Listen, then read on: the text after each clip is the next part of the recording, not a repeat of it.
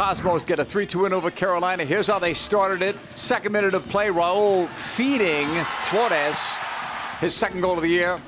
A lead for the Cosmos, but they couldn't hold it. Shipalane and Albadawi combined for two consecutive goals. in Carolina, thanks to this one, on the feed from Shipalane, Albadawi, they take the lead over the Cosmos. Two to one at that point. Cosmos trying to come back. Mkosana hauled down by Deleuze. That's a penalty.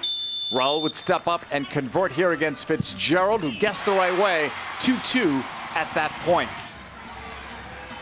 Carolina fighting to come back, get that lead again. Holt comes up with one of his bigger saves of the night there to keep it level. And then the Cosmos will strike here. Haji Wright lays it off. Lucky Mkosana with that go-ahead goal. 3-2 at that point for the New York Cosmos. Maybe one more attempt here on the long ball that was played up.